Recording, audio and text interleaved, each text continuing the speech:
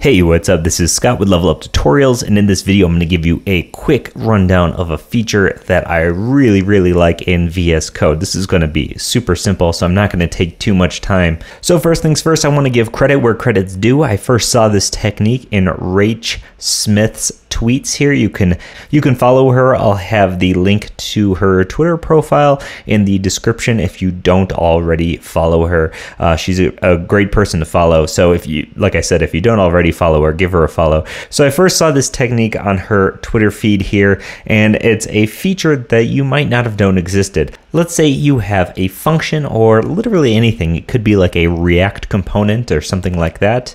And you've decided that the name of this component is no longer what you want, right? Maybe for some reason this has changed. So let's think about this.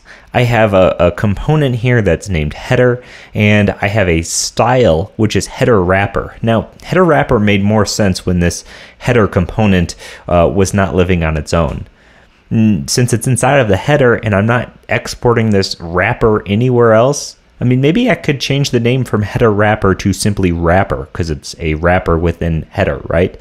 Now, not saying you, that's the best course of action, but this is a good example.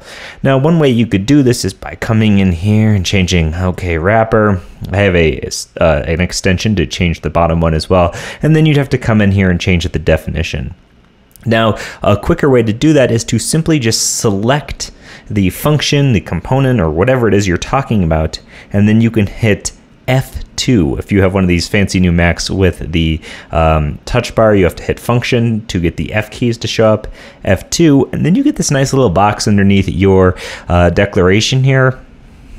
And we can change this just by deleting the word header and changing it to wrapper. Now watch closely on line 22 where it says const header wrapper hit enter, and it's now changed to wrapper.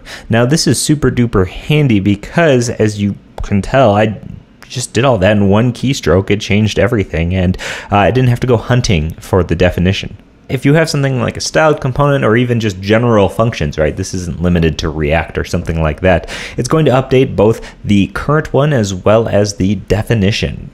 So if you hate your function's name and you want to modify it, check out F2 in VS Code. It's going to allow you to update that function as well as the definition name. As always, this is Scott with Level Up Tutorials. Thanks so much for watching, and I'll see you in the next one.